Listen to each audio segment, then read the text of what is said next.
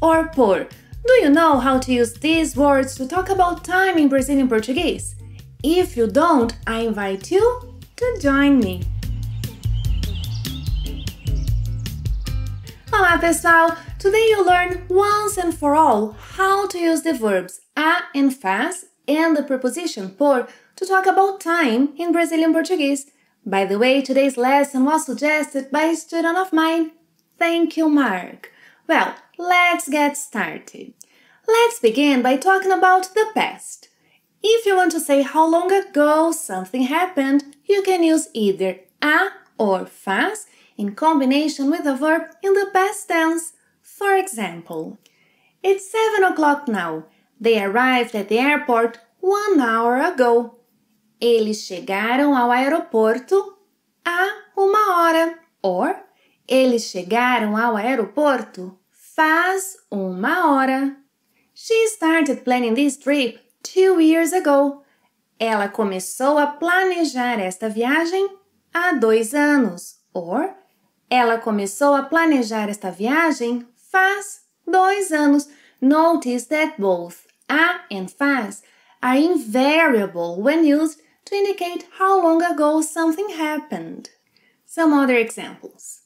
Because they are coming to Brazil, he decided to learn Portuguese a few months ago. Ele decidiu estudar português há alguns meses. Ele decidiu estudar português faz alguns meses. She visited Brazil many years ago. Ela visitou o Brasil há muitos anos. Or, ela visitou o Brasil faz muitos anos. Now, if you want to say for how long something happened in the past, don't use a, don't use faz, but a good option is to use the preposition por. For example, in the morning they called a taxi and waited for 15 minutes. Eles esperaram o táxi por 15 minutos. Eles esperaram o táxi por 15 minutos. Well, they didn't wait for a long time. Eles não esperaram por muito tempo. Eles não esperaram por muito tempo. Now, write this down. When saying how long something happened in the past, a good option is to use the preposition por, but it's quite common to omit the preposition por. Yes, it is. So we can say, eles esperaram o táxi por 15 minutos or eles esperaram o táxi 15 minutos. Eles não esperaram por muito tempo. Eles não esperaram muito tempo. So, when talking about past events, use a or faz to say how long ago they happened.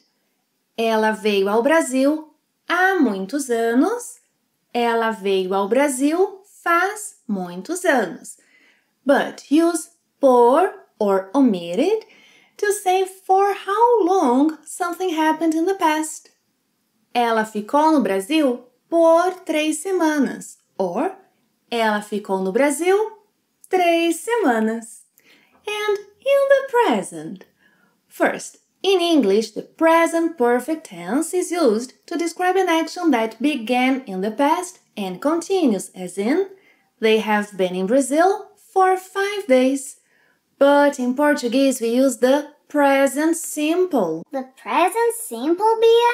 Yes, we do. We use the present simple to talk about something, to talk about an action that began in the past and continues in combination with the verbs a or faz, as in, they have been in Brazil for five days. Eles estão no Brasil há cinco dias. Or, eles estão no Brasil faz cinco dias. Another example. She has worked as a front desk clerk for one month. Hmm.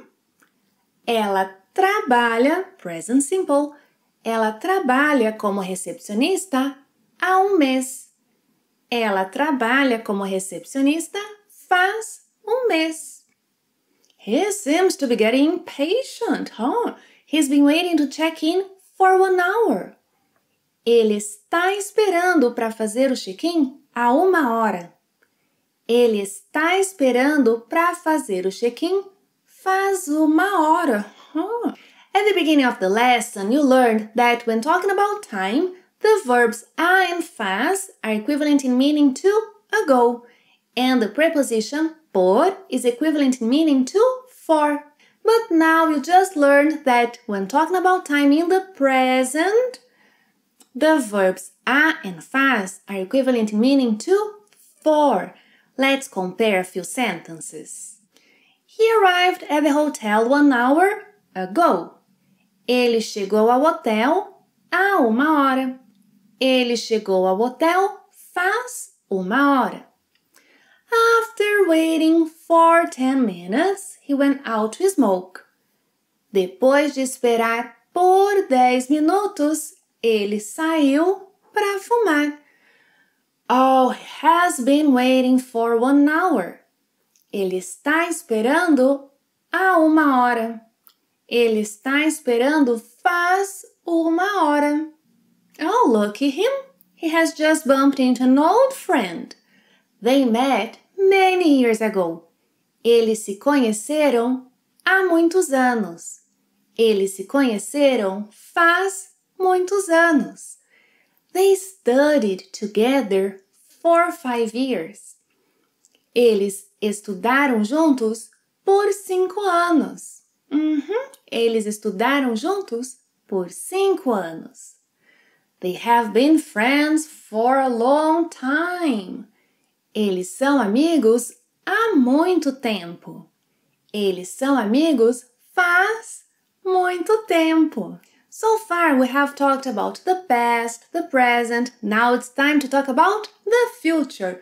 But before moving on, if you are enjoying today's lesson, don't forget to give it a thumbs up. That helps playing Portuguese a lot.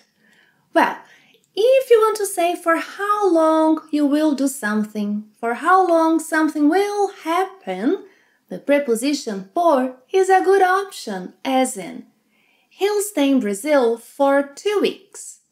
Ele vai ficar no Brasil por duas semanas. Ah, it's possible to omit it. Uh -huh. Ele vai ficar no Brasil duas semanas. His friend will work in Brazil for a few days. Seu amigo vai trabalhar no Brasil por alguns dias. Seu amigo vai trabalhar no Brasil alguns dias.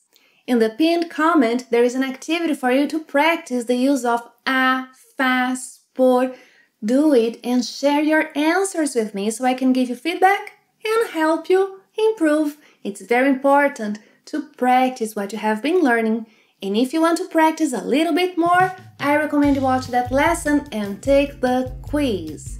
Tell me later how you scored. Thank you for watching another lesson. See you next time. Até a próxima! Tchau!